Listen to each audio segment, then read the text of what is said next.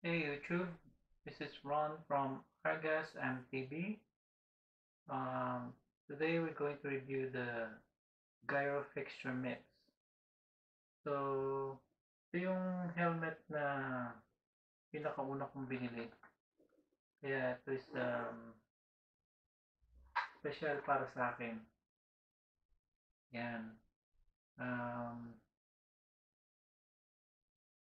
I got this helmet for $89.99 so it is um, around 65 US US dollars. Uh, convert na lang natin sa peso kung magkano yung 65 so yan. So bakit pinili ko tong helmet na to? So pinili ko to dahil um, meron na siyang uh, integrated MIPS. Yung MIPS, um, MIPS technology. Um, I'll put on the description, in the description below uh, for the link sa history of this uh, technology. And then, um, yung construction niya is made out of polycarbonate, uh, thermoplastic polymers and carbonate. So, it's a polycarbonate.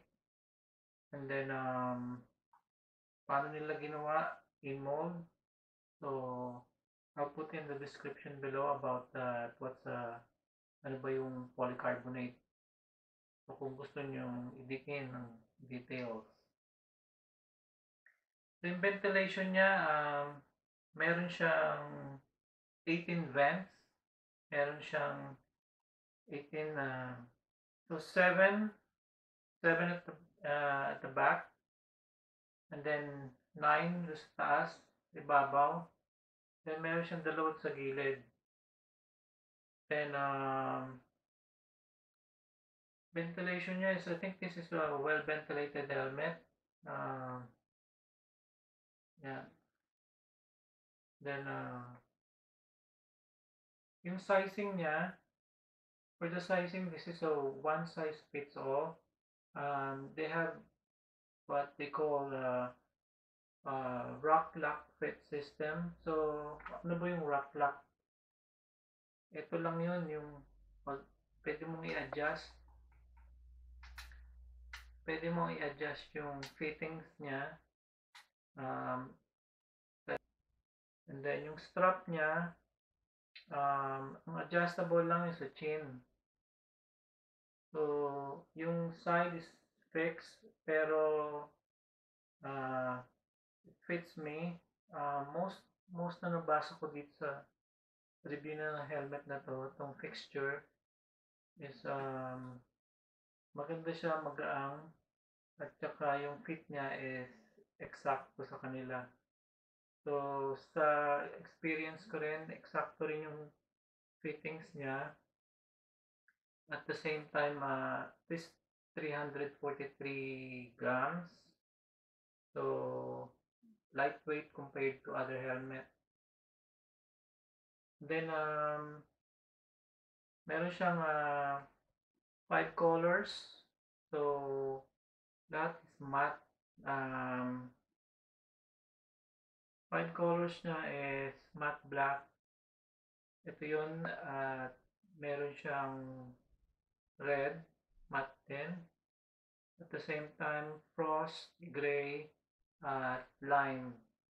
So, mahilig sila sa matte. Ako, hindi ako mahilig sa matte. Hirap ako dun eh. So,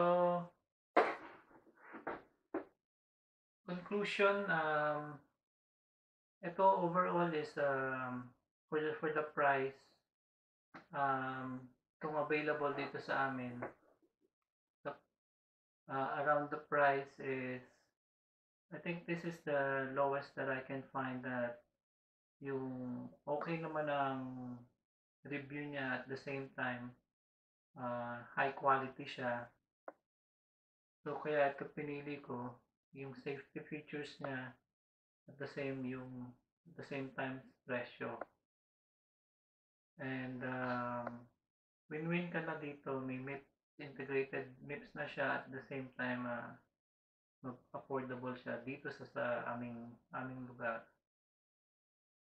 Um, I think this vers this is this helmet is versatile. So, puwede mo siyang gamitin, ah, for single track. At the same time, um, puwede mo siyang gamiting road at around the city. So ayun mga kapadyak, ah, ito yung review ng Gyro Picture MIPS. Um, let me know your, ah, experience about this helmet.